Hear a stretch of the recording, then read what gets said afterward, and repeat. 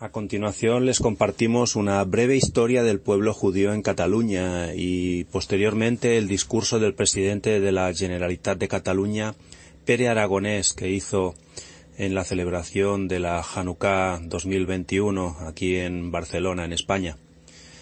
Fue el primer judío inscrito en el libro de la historia catalana. Se llamaba Judacot, era el año 858, y Guifré el Pilós, el fundador de la dinastía condal catalana y un mito fundacional de Cataluña, lo envió a tratar asuntos delicados con el emperador francés Carlos el Calvo.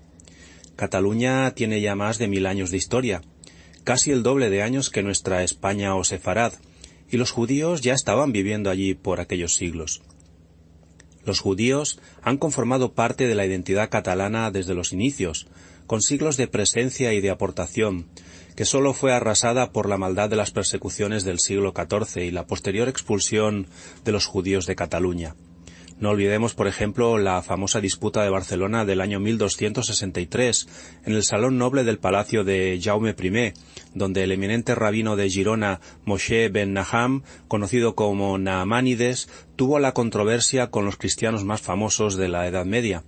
Después vendrían juristas, científicos, poetas, banqueros y astrónomos judíos, como Jacob ben David Bonjorn, médicos reales como Shechet ben Isaac ben Benist, geógrafos como Abraham Cresques, autor del primer atlas catalán de 1381, o el gran científico Hasdai Cresques, precursor de Newton e inspirador de Spinoza. La furia cristiana del pogromo o persecución del año 1391 contra el pueblo judío asentado en Cataluña destruiría una comunidad judía que solo en Barcelona había representado el 10% de la población, con algo más de 4.000 miembros judíos. Muchos judíos para no morir eran forzados a convertirse al cristianismo. Fue un largo proceso de siglos de desaparición de los judíos en Cataluña y también en Sefarad, en España, fueron perseguidos por la Iglesia católica y también por el gobierno de los reyes católicos. La expulsión de los judíos de España fue ordenada el año 1492. Sí, el mismo en el que Colón salió a descubrir las Américas. Fue en Castilla y en Aragón, a causa de los reyes católicos que mediante el edicto de Granada con la finalidad, según el decreto, de impedir que siguieran influyendo en los cristianos nuevos para que éstos no judaizaran. Lejos de España y de Cataluña por siglos, el pueblo judío tuvo un lento retorno posterior a nuestro país, y siempre, eso sí, vigilados por las autoridades locales. En los primeros años del franquismo, por ejemplo, Franco cerró la única sinagoga en Barcelona. Grupos fascistas saquearon la sede y la vida espiritual judía pasó a la clandestinidad. En 1953, gracias a una recogida de fondos, la comunidad judía pudo comprar la sede de la calle Avenir y el día de Rosh Hashanah se inauguró la sinagoga Maimónides, el primer templo judío construido desde la expulsión en 1492. Desde el inicio de la democracia en España, la comunidad judía de Barcelona puede celebrar una presencia normalizada, plenamente insertada en la vida colectiva catalana.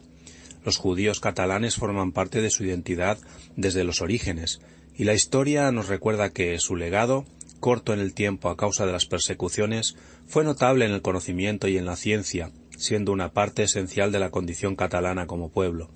Los judíos están en Barcelona desde antes que la ciudad tuviera el nombre, y son también catalanes y parte de Cataluña desde el primer momento en que Cataluña fue un territorio que luchó por salir adelante libre de conquistas externas dejaron una notable huella de su presencia en varios lugares como Barcelona, Girona, Besalú, Montblanc o Tortosa.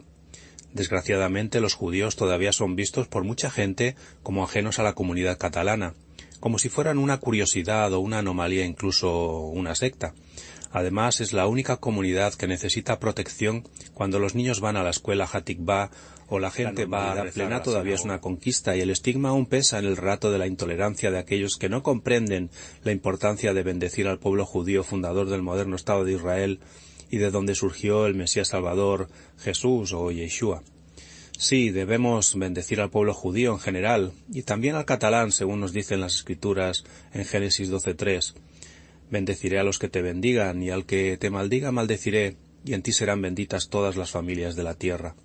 Pero algo está cambiando en la atmósfera espiritual de Cataluña, porque el pasado día 2 de diciembre del año 2021, que fue el quinto día de celebración de Hanukkah, en la Plaza San Jaume de Barcelona, donde se encuentra la sede del Gobierno de Cataluña, su presidente Pere Aragonés hizo un discurso ante una representación de la comunidad judía catalana presente, unas 200 personas, que celebraban la fiesta judía de Hanukkah, y allí el presidente aprovechó para hacer una petición de disculpas y perdón por todas las persecuciones que a lo largo de la historia ha padecido el pueblo judío en Cataluña.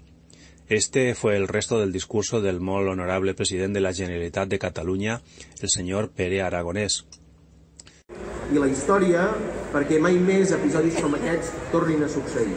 Per tant, avui l'oportunitat que tinc de participar-hi ara com a president de la Generalitat de Catalunya ha de servir també per poder-vos expressar a tots els membres de la comunitat jueva de Barcelona i de Catalunya que avui sou aquí, en nom de la Generalitat, doncs, la petició de disculpes i perdó pel que al llarg de la història, les persecucions que al llarg de la història ha patit el poble jueu a Catalunya. En fa molts anys, però nosaltres som hereus amb els actius i els passius de la nostra història. I per tant allò que creiem que cal reparar, també en termes històrics, avui ho volia subratllar. Tenim l'oportunitat, doncs, de celebrar aquesta festa de forma conjunta, i de fent-ho posant, com deia, en valor la diversitat existent al nostre país. Una diversitat que ens porta a defensar la llibertat individual, la llibertat col·lectiva. I a veure la celebració de la Hanukkah, com abans el rabí ens explicava, un dels episodis de la història del poble d'Israel en què es va demostrar doncs, com la determinació, la defensa d'uns valors i doncs, la voluntat de ser d'un poble que sobreposava la força crec que doncs, és una bona lliçó doncs, per saber que en moments de dificultat, valors, determinació i cohesió és el que ens han de fer avançar com a societat. Volem estar al vostre costat, per nosaltres és un honor que avui doncs, amb la consellera de Justícia us puguem acompanyar, que tinguem aquesta oportunitat. Per nosaltres, pel govern de Catalunya, els valors del que representa la presència del poble jueu a Catalunya, de les comunitats jueves presents i organitzades a Barcelona i a Catalunya, és molt rellevant. I per tant que haguem pogut acompanyar-vos en el dia d'avui ens honora i us convidem doncs, a seguir treballant junts per aquesta Catalunya diversa, plural, plenament lliure, d'aquesta Catalunya en què els ciutadans han de poder tenir tota la capacitat i han de poder sentir-se amb, tota la, eh, amb tota la llibertat personal que inclou, evidentment, la llibertat de pensament i la llibertat religiosa. Per tant, moltes gràcies a les comunitats jueves de Barcelona i de Catalunya per donar-nos aquesta oportunitat. Bon Hanukkah, Hanukkah Sameach.